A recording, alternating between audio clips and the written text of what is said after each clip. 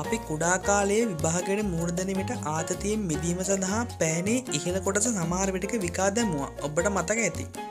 ඒ වගේම කුඩා කාලයේ පොත්තං වැඩදේ කටේරුවාගෙන අම්මාගෙන් පහර වැදුන අවස්ථාද ඇත.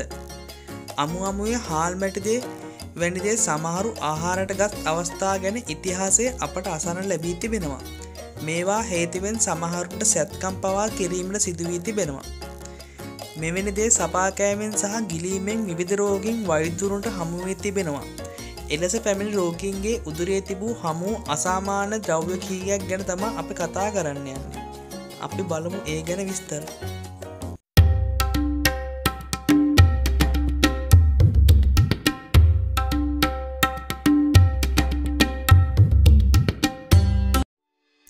අංක එක උදරය තුළ හමුහු හැඳි ගෑරුප්පු හැත්තාටක් නෙදර්ලන්තයේ පදිංචි කාන්තාවක් වන මාග්‍රට් ඩාල්මන් එක්වරම ඉතා දැඩි උදර වේදනාවකින් පෙල්ලන්නට වුණා. වහාම ඇයව රෝහක් ගත රැගෙන ගිය අතර එහිදී අනාවරය වුණේ ඇගේ උදරය තුළ රිදී හැඳි හා ගෑරුප්පු හැත්තටක් තැන්පත්ව ඇති බවයි. ඇය විසින් ඒවා ගිල දමා තිබූ අතර එසේ කිරීමට හේතුව හෙළිකර ගැනීමට වෛද්‍යවරුම් අපහසත් වුණා. කෙසේ නමුත් හොඳ සිහියෙන් සිටි ඇයගේ මෙම කියාව PICA නම් රෝගී තත්ත්වයන් නිසා සිදු කරන්න ඇති බව ඔවුන් විවිධ නිර්මාණය කළා. එම රෝගේ වැරදින විට ආහාර නොව පස් වැනිදේ ආහාරට ගැනීමට රෝගයා පෙළවෙනවා. විශේෂයෙන් ගර්භිණී කාන්තාවන් ඇතිවනම තත්ත්වයකදී දුහවිලි කුණු වැනිදේ ආහාරට ගැනීමට වාර්තා වුවත් හිතාමතාව හැඳි ගෑරුප්පු කට්ටල ගිල දැමූ අවස්ථාවක් ගැන ඊට පෙර වාර්තා වීනම් තිබුණේ නෑ. අංක දෙක විශාල කෙස් ගුලියක් දෙදස් හතේ චිකාගෝවේ විශ්වවිද්‍යාලක වෛද්‍ය මධ්‍යස්ථානට දහට වෙති යුවතියක් පැමිණියේ සිය උදරයක මහත් වේදනා ගෙන දෙන බව සඳහන් කරමින්. ඇයට වමනය පිටවී තිබූ අතර අදහගත නොහැකි ලෙස කිලෝගයම් දහටකින් බරාඩවී තිබුණා. එක්වරම එවැනි බරාඩුවීමක් සිදුවන්ට නම් අතක් පයක්වත් එක්වරම කපා ඉවත් කළුතු වෙනවා. ඉක්මනින්ම ඇගේ උදරය එක්ස්රේ පරීක්ෂණයකට භාජනය කළ අතර ඇගේ ආමාස තුළ යම්කිසි අඳුරු ද්‍රව්‍යයක් තැන්පත් වී ඇති බව දිස් වුණා.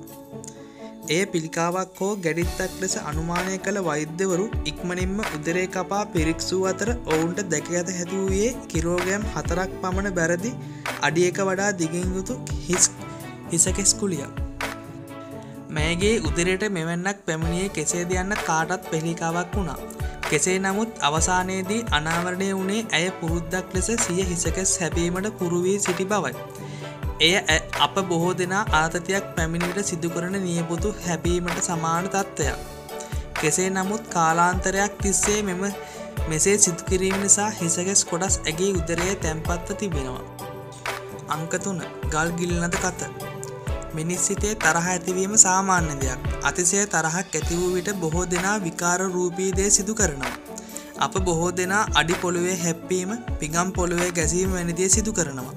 කෙසේ නමුත් චීනය එක්තරා කාන්තාවක් නම් සිය තරහ නිවකර ගැනීමට සිදු කරන ලද්දේ ඉතාම් අසාමාන කියාවක්. උණුසුම් විවාදයකට උපරීමට පැමිණි අවස්ථාවේදී සිය හිතට නැගුණු තරහා පිටකිරීමට ඇය විසින් සිය ගෙවත්තේ තිබුණු ගොඩනැගලි බෙඩීමට යොදාගන්නා කුඩා කෝබල් ස්ටෝන් නම් ගල් විස්සක් ගිල්ල දැමූ තිබුණා. තරහා නිවුණු පසු ඇගේ නිවසියන් ස්වභාවකව ලෙස ඒ පිටවුණු ඇතැයි ඇව සැනසුවත් අවසානයේ ඒවා පිටතර ගැනීමට සිදු වූයේ සැත්කමත් සිදුවරීමනි. අංකහතර කාන්දන් තිහක් ගිල දැමීම ඇමරිකා එක්සත් ජනපදයේ ඉන්ඩිසියා පාන්තයේ හටඇවරදි දැරියක රෝහල් වෙත ගෙනවිත් තිබුණේ ඇය ඉතා තදබල උදර වේදනාවක් පෙළෙන්නට පටන්ගෙන තිබූ නිසායි.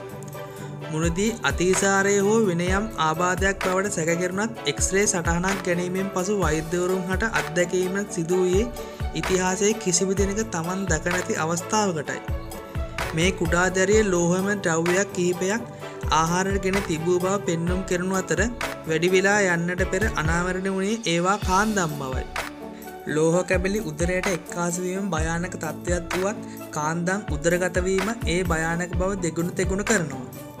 තුනේ බිත්ති සහිත ආහාර චීර්ණ පද්ධතියේ අවයාව දෙකක පිහිටීම කාන්දන් දෙකක් පවා එකනෙකට ඇලීයාමට සිදුවිය හැකි නිසා සමහර අවයව ඇඹිරියාමේ අවධානකර මේ දැරිය ලක්වී සිටිය. එක්සේ චාරූපට අනුව දැරිය දැඩි ජීවිත අවධන සිටියත් ඇගේ වාසනාවකට එලෙස කාන්දම් ඇලීමට සිදුවී තිබුණේ නැහැ. කඩිනක් සැත්කමත් මගින් කාන්දන් තියම ඉවතර ගැනීමට අවසානය වෛද්‍යවරුන් සමත් වෙනවා. මේ කුඩා දැරේ කිසිදු මානසික ආබාධයක් නොතිබුණු අතර නිරීක්ෂණය අත්තදා බැලීම කුඩා දරුවන් ප්‍රියකිරීමේ ප්‍රතිපලයක් ලෙස මෙය සිදුවී තිබුණා. අංක පහ දැල්ලම් බිහි කළ කතක්. කොරියාවේ එක් කාන්තාවගේ උදරයෙන් කුඩා දැල්ලන් දොළොත් දෙනෙක් ඉවතර ගනු ලැබුණා. ඒ වනමිට හැටතුන් විහි සිටි ඇය කිසිලෙසකින් හිතාමතා ඔවුන්ග ශරීර ගත කොට තිබුණේ නැහැ. ඇය විසින් නිසිලෙස නොපිසූ දැල්ලන් ආහාරට ගෙන ඇති අතර අවාසනාවකට ඔවුන් නිසිලෙස පිරිසුදු කොට ආහාර නොගන්නා කොටස්ද ඉවත් කර තිබුණේ නැහැ. මේ නිසා දැල්ලෙකුගේ පෙජනල පත්තිදියද ඇය විසින් ආහාර ගෙන තිබූ අතර ඒ වෙන මිටත් ගර්භණයව තිබූ එය මගින් කුඩා දැල්ලත් දොරොත් දෙන ශරීර ගතවී තිබෙනවා. මින් සමහරක් හමුවේ තිබෙන්නේ ඇගේ දිවේ හා කම්බුල්වල ඇතුල් පැත්තේ රැදී තිබීමයි. අද අපි මේ වීඩියෝ එකෙන් කියව් දේවල් ගැන ඔබ සිතන්නේ කුමනවාද? පහලින් කමෙන්ට් කරන්න අමතක් කරන්න එපා. ඔබට මෙවැනි වැදගත් වීඩියෝ එසනින් දැනගැනීමට මගේ චැනල් එක සබ් කර බෙල් අයිකන්න එක කලික් කරන්න. ඔබගේ යහළුවන්ටත් මෙම වැදගත් කරුණු දැනගැනීමට සයා කරන්න. ඔබට සුබ දවසක්.